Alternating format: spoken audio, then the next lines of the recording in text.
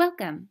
I'd like to take a moment to demonstrate on an iPad mini how Thursby's secure enterprise browser, PKard Pro, can allow you to use derived credentials to access two-factor websites.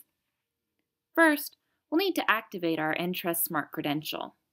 I've already logged into the site on PKard Pro and can now choose to activate. I can rename the certificate for recognition later. Then, just click to activate and the process begins automatically.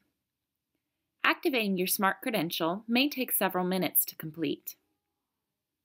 Thursby is dedicated to making your transition from a smart card to a derived credential smooth and effortless. We've built our software so that you can use either smart cards or derived credentials interchangeably, which means you won't have to reinvest in the cost of new software or the time it takes to retrain. This also allows your company to have users of different modes of authentication as needed. Your new credential will now also work with any of the other applications in our secure app ecosystem.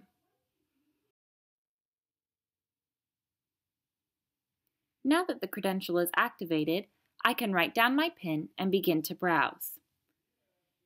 PKard Pro works just like the PKard Reader app. Simply enter your PIN and you can access any two-factor website.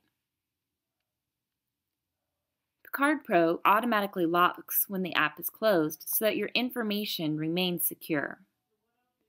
With Entrust and Thursby's PKard Pro, using derived credentials in your environment can become a reality today.